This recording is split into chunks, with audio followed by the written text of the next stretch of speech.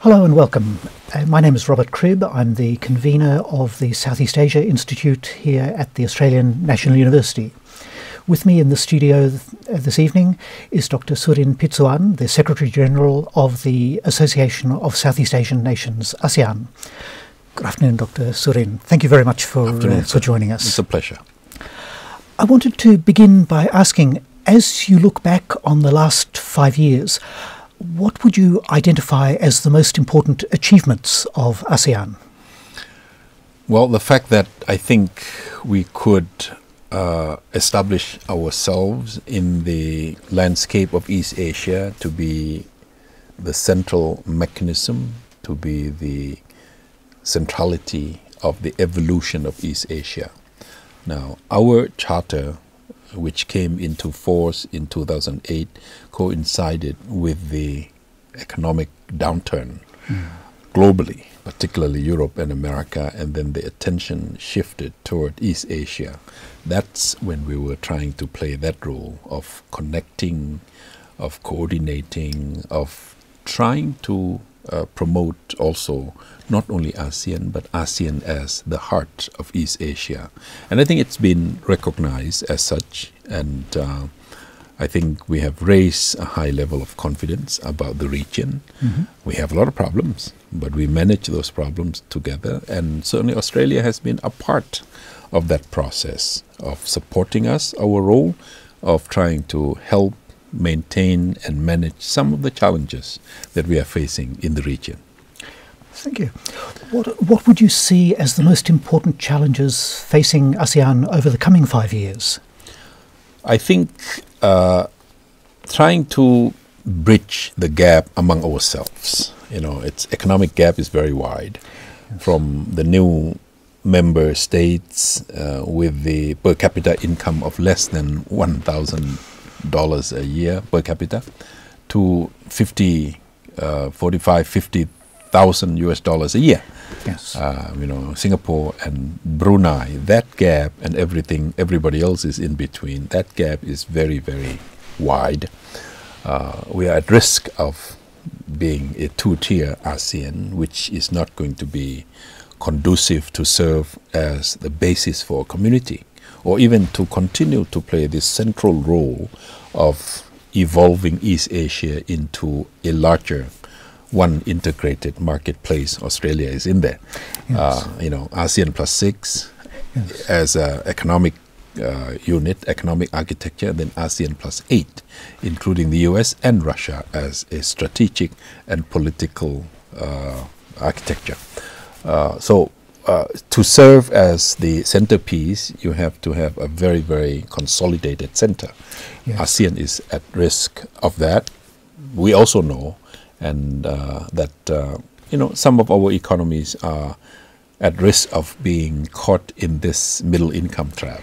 Yes. And we have to work very hard in order to transform our economies, those that can do, those mm. that are at that stage, uh, to become more innovative, more creative, more uh, knowledge based, more technology and science based in order to get away from the labor intensive, uh, you know, low uh, price of commodity, abundance, mm. abundance uh, materials, uh, because that's the model that China can do, India can do, and the rest of the world can do. Yes. It's quick and fast. Yes. But we need to be more productive. We need to be more uh, to produce more technology and more uh, more science in order to serve our research, our design, our development, our innovation. That's what ASEAN is doing, and uh, we are at risk of not being able to achieve that. That's why the relationship with countries like Australia, Japan, Korea, the EU, extremely important to us, so that we can somehow reconfigure our economies. And put ourselves on a better platform to move forward into a more competitive, competitive global market. That's, I can see. It's it's also been suggested that uh, the rise of China will put significant strains on mm. ASEAN, particularly as lines of communication develop in mainland Southeast Asia. Yeah.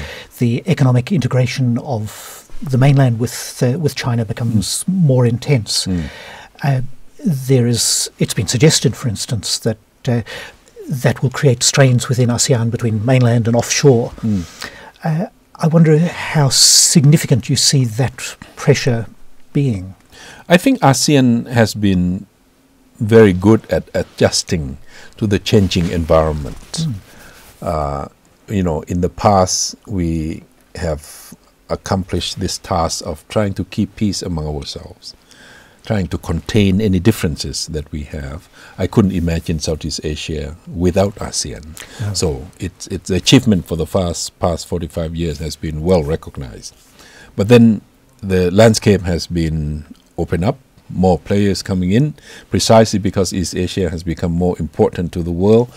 A lot of players are coming in to stake the claim, to play a role, to promote interest, to protect the interests in the region. Yes. And all these things are happening on the stage of ASEAN, on the forum of ASEAN, mm. uh, stress and strain.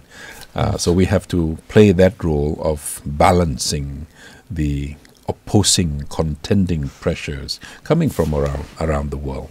Uh, we will get through this and uh, you know again with dialogue partners who also have an interest of maintaining stability security and peace in east asia we will be able to accommodate and handle. And um, you know we go through phases phases. Um, you know henry kissinger once observed that um, east asia as far as economic development as far as innovation uh, are concerned, it's really 20th century Europe. He said this last year, last yes. century. But then he said, as far as institutions, processes, and systems, to take care of the problems, potential problems that could occur among the countries and states of East Asia themselves, they are still 19th century Europe. Yes. We have been trusted into that role of trying to balance, trying to uh, be the fulcrum of contending power plays in the region. Yes. Uh, and we have found ourselves that we are not playing that fulcrum, but we are also trying to balance ourselves with some of the yes. major powers around yes. us coming uh, far away into our region. But these are the things, the roles that I think uh, we will be able to play uh, well effectively with the support, with the cooperation of uh, our dialogue partners, mm. Australia uh, as an example.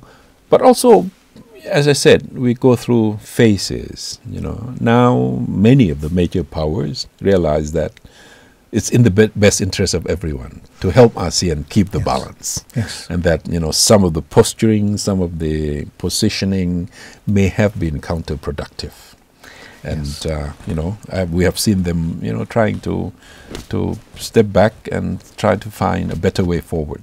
Yes. ASEAN's achievements in, in the region mm. are really very impressive, but I wonder if you see a prospect for ASEAN engagement with Africa. If we go back to the 1950s, Africa and Southeast Asia mm. looked rather comparable. Mm. Then Southeast Asia took off and Africa did mm. not. Yeah. But it appears that Africa is now on the verge of a recovery that might mm. mm. help it to mm. emulate Southeast Asia. I wonder if you see Southeast Asia as, or ASEAN specifically, as playing a role in African development. Mm. Well, ASEAN have been traveling on two roads. Yes. One is trying to evolve, trying to open up our political systems we began in 1967 with almost all of us were very centralized, oh, yes. very authoritarian. Now all of us are opening up, mm. and you know the process of democracy and participation uh, has has certainly seen a lot of development. Mm. Uh, so we can say that politically, ASEAN has been on that road of opening up of um, participation of um, democratization rather steadily. On the other road is economic development. We also have achieved a great deal of uh, uh, prosperity. We are impressed with the way in which the African Union is working on the issues of peace, mm. of security, of reconciliation, Uh, they are very quick, very active, and mm-hmm. very much uh, together in trying to resolve some of the conflicts on the continent. Yeah. Uh, they are impressed with the way in which we handle our economic yes. Uh, transformation, our economic cooperation, our economic agenda. And in fact, there has been a communication between ASEAN and the AU okay. on the political level. And uh, I think as Africa opens up and prospers and stabilizes, certainly uh, ASEAN countries can benefit from the resources, from mm. the commodities, yes. and they certainly can benefit from the way in which we do our economic coordination, our economic management, our economic uh, uh, cooperation in the region. I yes. see a lot of a lot of common issues that we can work together. Yes, yes I can foresee there's a lot of future potential mm. collaboration yes. in that area. Yeah. Are there any lessons for ASEAN from the current crisis in the European Union, do you think? Well, I don't know if you call it a lesson, but the issue of single currency has never been on the on the yes. table for ASEAN because yeah. we are very different, you know, coming from very diverse uh, uh, kinds of economies, governance, uh, economic systems.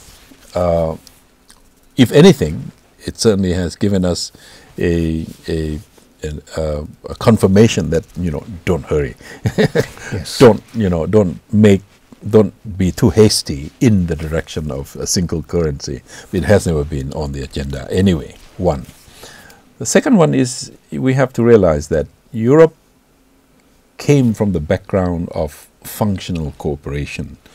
Bigger uh, countries got together to work on some of the issues coal, steel, yes. energy, uh, and then they were able to bring smaller countries to be mm. part of that architecture.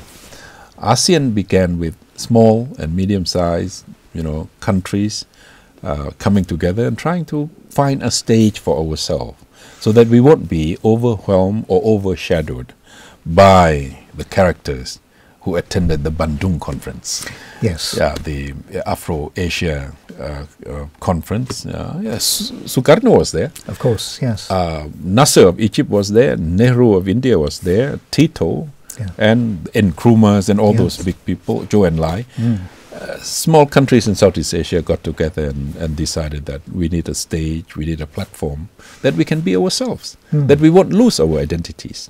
So, um, ASEAN is still coming from a vast diversity together. We still have to manage that diversity among ourselves. Yes. Europe has been able to you know, widened their membership to 27 and have, have done very well, but uh, they have run into problems. Mm. So we are learning the positive uh, achievements of Europe, and we are also learning from the failures of Europe.